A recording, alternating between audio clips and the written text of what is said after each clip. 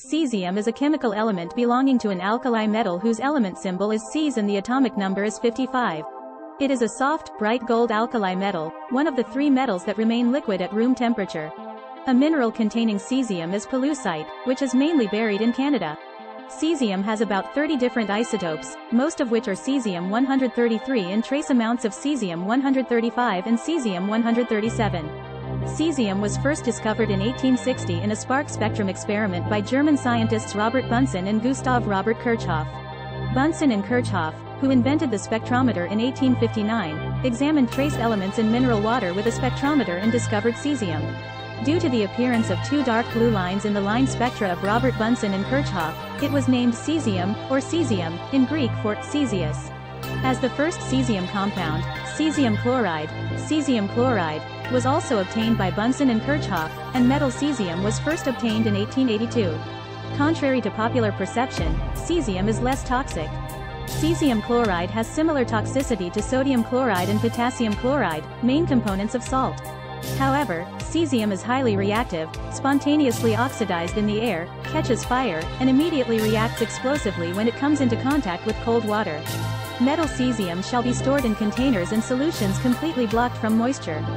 Sodium or potassium also explodes when put in water, but cesium is much worse than this, so when thrown into the tank, it explodes and breaks the tank at all.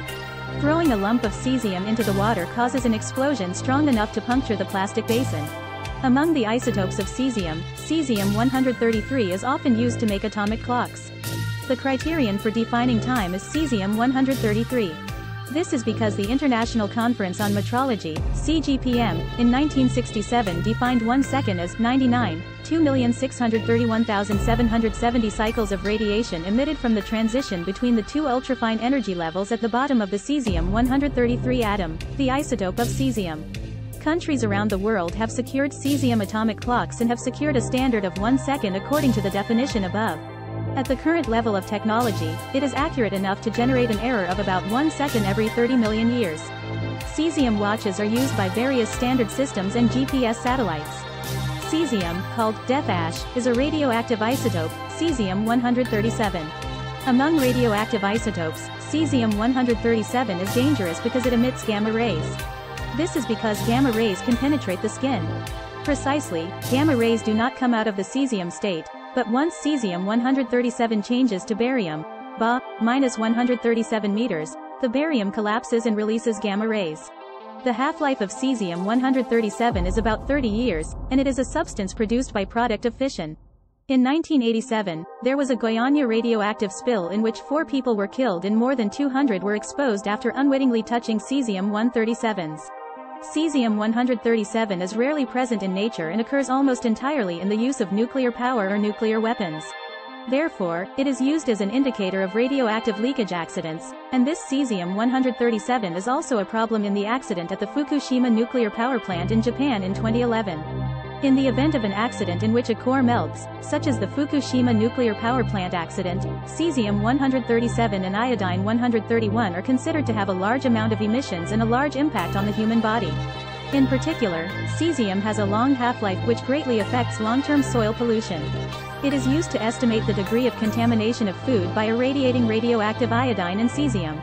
Of course, other radioactive substances are dangerous, but for convenience of inspection, only iodine and cesium are tested to see how contaminated they are. Cesium-137 is very dangerous, but if the gamma rays generated by the collapse of cesium-137 are used under well-controlled conditions, it can be used for radiation treatment or sterilization of food.